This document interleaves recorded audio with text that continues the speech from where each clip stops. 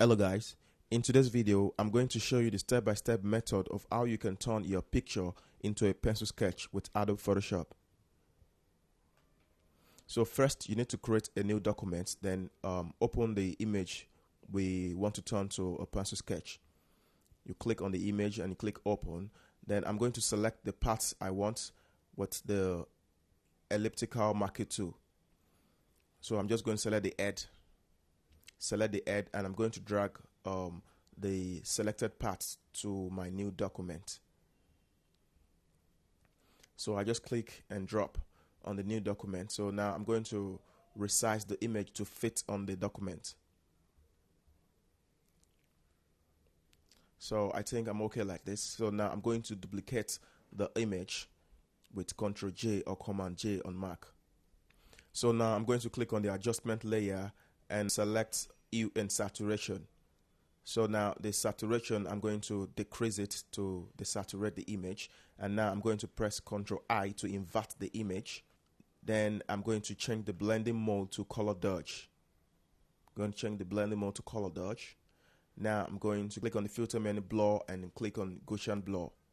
So now I'm going to adjust the slider to fit um, my satisfaction. So I'm just going to adjust the slider a bit. So I think I'm okay. I think I'm okay like this. So press OK. Now click on the adjustment layer and choose brightness and contrast.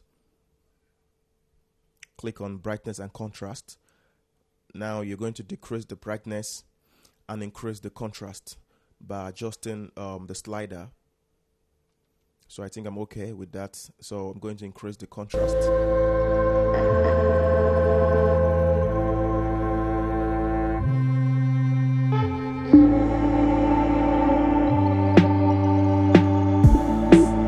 adjust it to your satisfaction. So now click on the image and click Control L or Command L to pop out the level panel.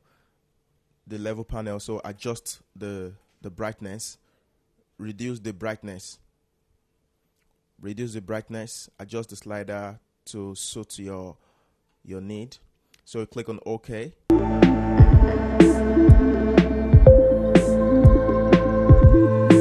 So now we need to add some texture to our image. So what we need to do now is click on Control Alt Shift E to merge the layers together or Command Alt Shift E on your keyboard to merge the layer together.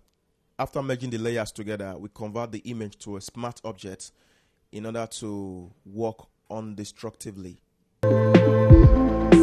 So now we go to filter, we go to noise, then we click on add noise.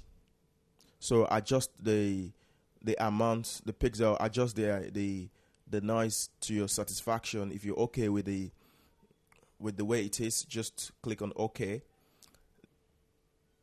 Now we are going to select the layer layer mask and click on the brush tool. Make sure your foreground color is set to black. So now we are going to erase um, the part we don't need. So I just want the noise to be applied to the face and to the face alone. So I'm going to remove the noise from the background. So I'm going to erase it. Make sure your, your foreground, I'm going to erase with the brush tool and make sure your foreground is set to black. So black means you, are removing. Why? When you change your foreground to white, it means you you're hiding. So I'm going to remove the part I don't want, like so. So now I'm going to click on Filter, Sharpen, and um, smart sharpen. Adjust the layer to your satisfaction. Adjust the layer. If you're okay with the way it is, just click on OK. So that is. So once again, we're going to merge the layers together. Control Alt Shift E on Windows and Command Alt Shift E on Mac to merge the layers into one. Then click on Filter, Filter Gallery.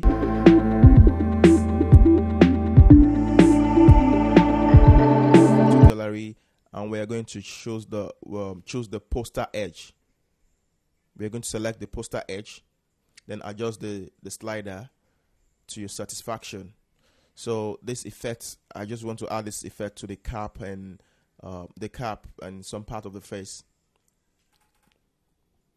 So when you're through with this, just click on OK.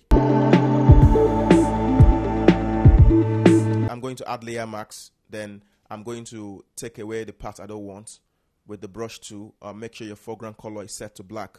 So I'm going to take, take away the part I don't want in this image. So as you can see, I don't want the poster edge effect to show on the face.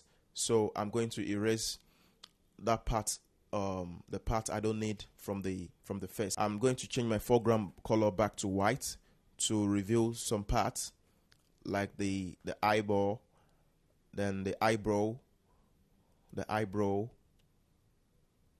So I'm just going to add um, the effect on those parts.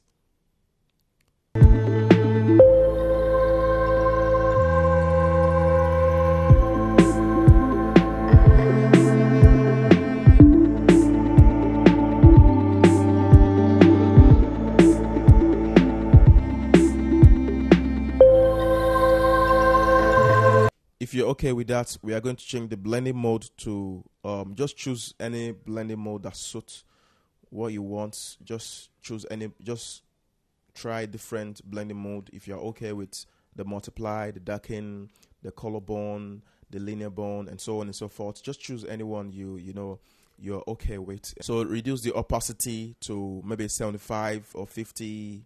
Just try different numbers and you, you get different results depending on the image you're using. So now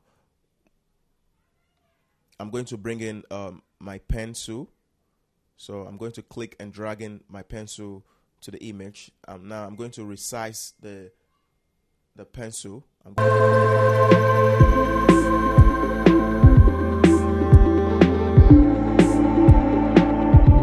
then I'm going to use the uh, the perspective to to adjust the pencil to suit what I really want.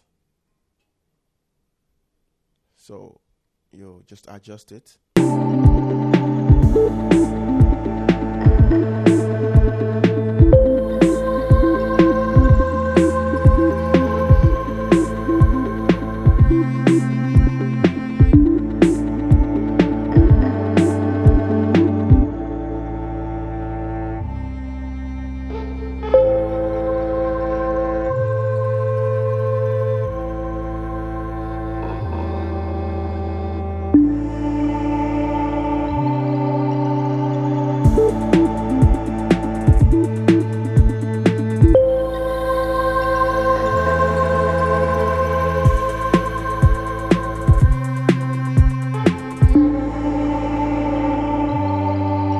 Having done this, I'm going to select control click on the pencil to select the pencil or command click on the pencil to select. So now I'm going to fill the pencil with black.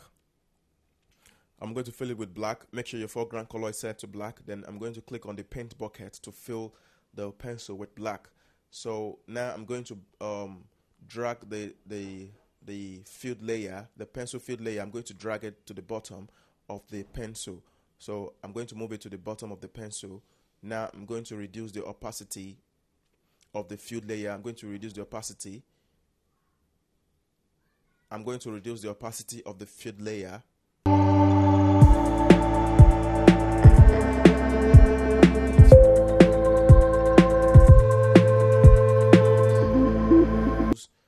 I'm trying to create a shadow of the pencils.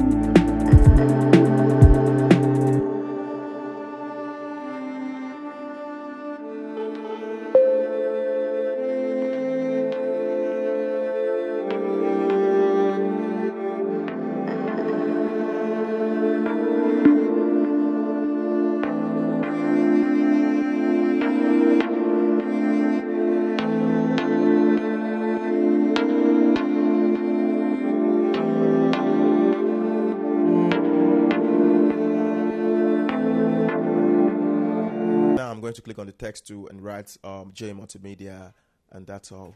So I think.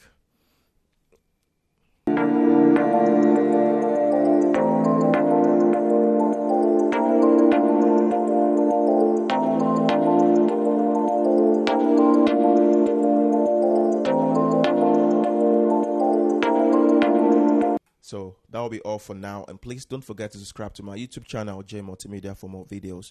And please, if you have any question, just drop it on the comment section. I'll get back to you as soon as possible. Thank you for watching.